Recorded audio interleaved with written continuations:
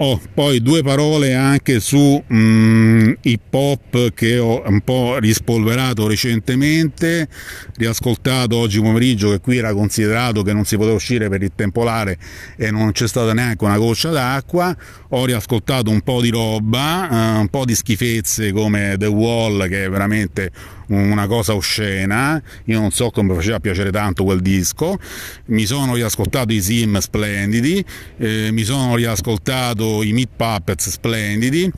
e ho riascoltato un, po' di hip hop recente che non sentivo da un po' e mi sono spizzato i tre dischi classici di Tyler the Creator che è Tiger,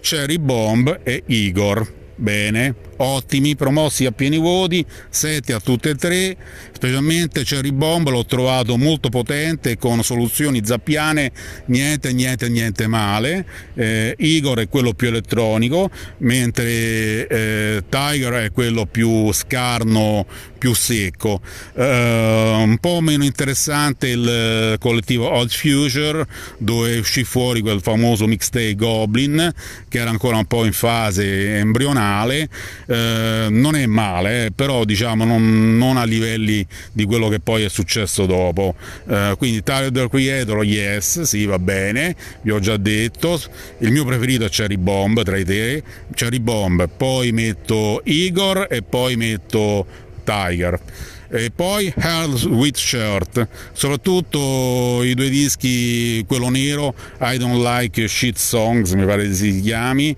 e quell'altro Some Rap Songs eh, o qualcosa del genere. Ho riascoltato quelli, ottimi e abbondanti, eh, alcuni lo mettono come abstract hip hop, va bene, per me ok, io sì, è abbastanza abstract ci sono dei pezzi elettronici, eh, però um, ok, sì, insomma. Quindi sia Halloween Shirt che, mm, che Tyler the Creator a Leo Di Maio gli piacciono, ecco, quindi hanno il placet, bene placet mio. Potete andare sicuri, tranquilli e, e adesso vi saluto che mi sa che è quasi ora di cena.